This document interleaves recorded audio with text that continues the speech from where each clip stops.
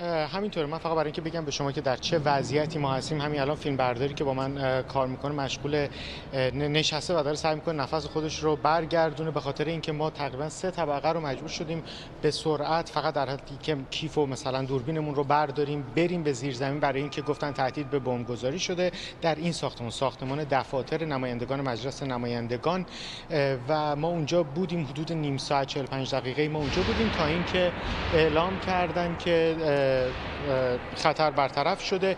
ما برگشتیم به سرعت همین دو سه دقیقه است که ما تونستیم برگردیم به جایی که بودیم. اما همزمان تصاویری که داره میاد در جلوی کنگره گروهی از هواداران آقای ترامپ دارن سعی می‌کنن که وارد بشن تا اعتراض خودشون رو به نتایج بگن. می‌دونیم که مراسمی که امروز هست برای تایید نتایج انتخاباتی که هر ایالت پیشتر اونها رو تایید کرده کالج انتخاباتی اون رو تایید کرده و حالا در مرحله نهایی به صورت نمادین کنگره باید این نتایج رو بگیره و دیگه تموم میشه ماجرا همزمان با صحبت های تو داریم, داریم, داریم تصاویر زنده ای رو می‌بینیم. از به نظر می‌رسه چندین هزار طرفدار آقای ترامپ که بیرون ساختمان کنگره جمع شدن و اونطور که خبرها میگه اونها دارن تلاش می‌کنن که وارد ساختمان کنگره بشن. اینها طرفداران آقای ترامپ هستن. کسانی که خود آقای ترامپ چند روز پیش از اونها دعوت کرد که به واشنگتن بیان و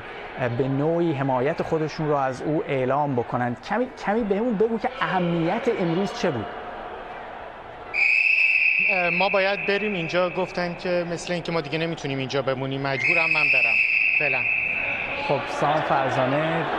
مجبور هست که ما رو ترک بکنه به دلیل اینکه ظاهرا حداقل می‌بینیم در تصاویر هم داشتیم به صورت زنده می‌دیدیم که تلاشی هست از طرف طرفداران آقای ترامپ. چندین هزار طرفدار آقای ترامپ در که در بیرون ساختمان کنگره جمع شدن در زمانی که جلسه کنگره برگزار شد برای اینکه آرا رو به صورت نهایی تایید بکنند و پیروزی جو بایدن میبایست در این جلسه تایید نهایی می‌شد و اعلام می‌شد آقای ترامپ از معاون اول معاون خودش مایک پنس خواسته بود که اجازه نده این جلسه در این جلسه نتایج انتخاباتی که او تقلب آمیز می‌خونه تایید بشه. اما در همون ابتدای جلسه جایی که قرار بود این نتایج تایید بشه ابتدا گفته شد که تلاشی برای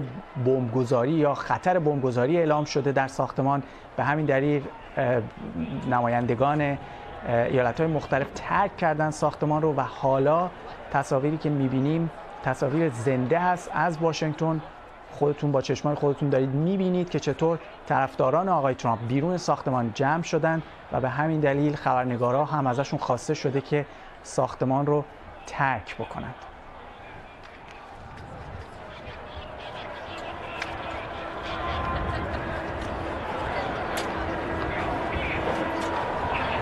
جلسه در حال حاضر در هر دو مجلس در حال انجام هست. در ابتدا تصاویری بود که نمایندگان در حال ترک بودن اما بعدتر اونها برگشتن و اونطور که گفته شده خبرگزاری ها حالا دارن میگن جلسه ادامه داره پیدا می‌کنه.